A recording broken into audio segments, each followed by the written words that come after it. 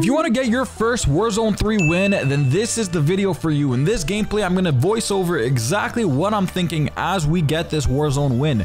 So, without further ado, hit that subscribe button and let's get right into the video.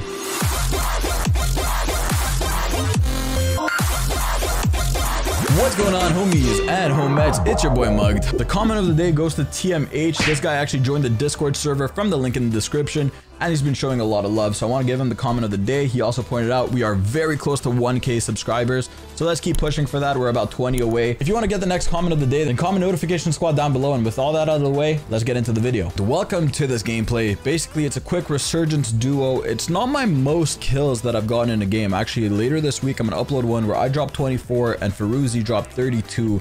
It was a crazy game, but that's going to be coming later. Later, I'm going to be teaching you guys how to get a lot of kills in your games. This one is about how to get the win. So I'll kind of guide you guys through when I'm rotating, what I'm thinking, and all these points. So right now we're looking at the map and you can see it's a direct line from the middle. So over here, you're going to have, I mean, Resurgence in general, especially on Ashika, it's very, very, very crowded.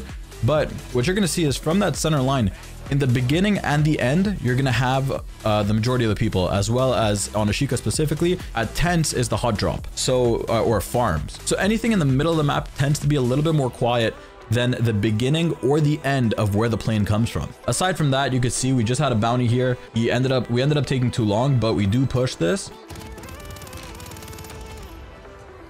I get a few shots off, but I noticed that there was multiple, and then I decide we're gonna push back together. I down one while uh, Gabby's rezzing. I go, I get the full plate, and he somehow killed me through the um, through the bottom piece. I did call out that he was full plates, that he was cracked. I called out that the other guy was selfing, and then I got rezzed. So you do have to communicate as a team. If you're playing duos, if you're playing quads, if you have intel on something, call it out just in case. Maybe your team already knows, but also if your team's in a situation where um, where they need to hear the footsteps or whatever, then do be quiet at those times. So over here, I was overexposed and that's on me. You see how Gabby's shooting behind the rocks? He has a good little head angle on these people. That's playing it smarter. I'm out in the open just because my ego is too high. You do not want to be doing this. However, I am trying to rotate and trying to get closer. Gabby called in a drone to get this guy while I was distracting him from the right side. So once he goes down, now we know it's a 2v1 scenario.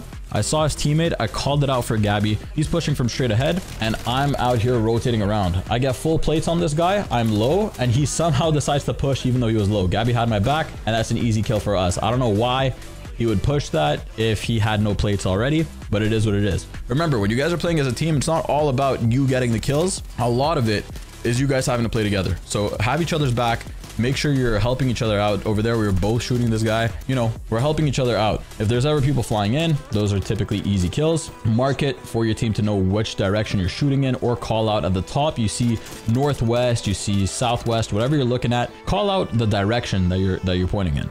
Over here, I saw this guy and I figured he would go for his loadout. I hid behind the car so he didn't see me and it's an easy kill for me. Got the team wipe. It was the same guy as, as before. What you want to do is use as much intel as you can. So I just popped a UAV.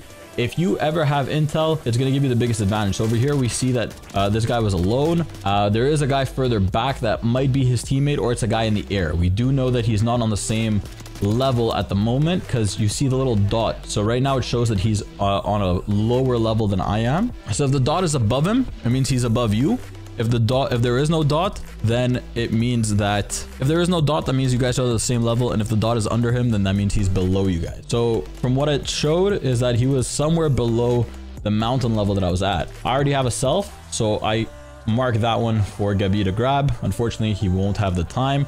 Precision on me, I call that out as well. And somehow, some way, this guy was up here. I think it's the guy that just landed in though. I don't think it was the same teammate of his that we were looking at because ground level, Gabi's calling out that there's a guy rotating with us. So we're looking back to find his teammate because we didn't see him and he was actually ground level. So Gabi's shooting at him. I couldn't see him. And at the end, I saw his body right there. Boom, easy headshot. And that's the kill. We had a fire sale. We popped a few UAVs. Now we have an advance. So I can see which direction they're looking in, which gives us an advantage at the same time. Gabi was distracting this guy while I pushed behind, and we know that his teammate's further up ahead. This is the last guy. You can see at the top right that it's a 2v1 scenario. I got full plates on him. Gabi gets the knock. That is essentially going to be the gameplay. It was a very easy win. What you want to do is just play your circle, try to get as much cover as you can. And with that, the more intel you're collecting, you could choose whether you want to engage in the fight or not. So that's my biggest suggestion of try to have as much cover as you can. Decide when you should engage, when you should draw back. You saw when the guy was going for his loadout, he was on the bike.